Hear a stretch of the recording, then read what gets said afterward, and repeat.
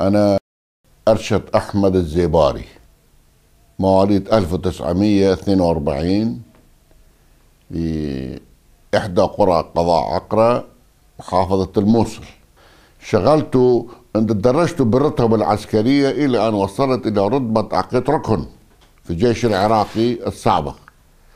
وشغلت مناصب كثيرة منها آه، آمر قوات بغاوير الفرقة الرابعة وكيل آمر اللواء مشات آلي آه، واشتغلت أيضا ملحق عسكري في يوغوسلافيا لمدة سنتين وشغلت محافظ شغلت منصب محافظ سليمانية لمدة ثلاث سنوات من سنة 1977 إلى سنة 1980 ثم أصبحت وزيرا للدولة من سنة 1980 إلى 2003 يعني 9 4 2003 يوم الاحتلال.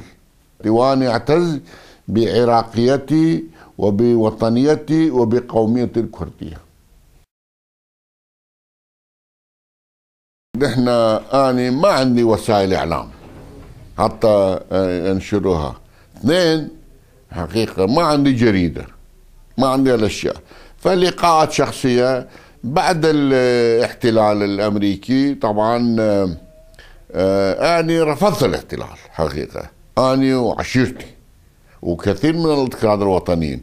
بس قعدوا تحت الاحتلال فأنا طلعت من الموصل سنة 2005 فجيت هنا سكنت هذه ثلاث سنوات ومن هنا شكلت حزب. باسم حزب الحرية بعد طبعا إلحاح كثير من الوطنيين الكراد اللي حريصين على وحدة العراق كرد وعرب وتركمان ومسلم ومسيحي وسني وشيعي ويزيدي وشبكي وكل الناس سواسية فشكلنا حزب باسم حزب الحرية والعدالة الكردستان العراقي.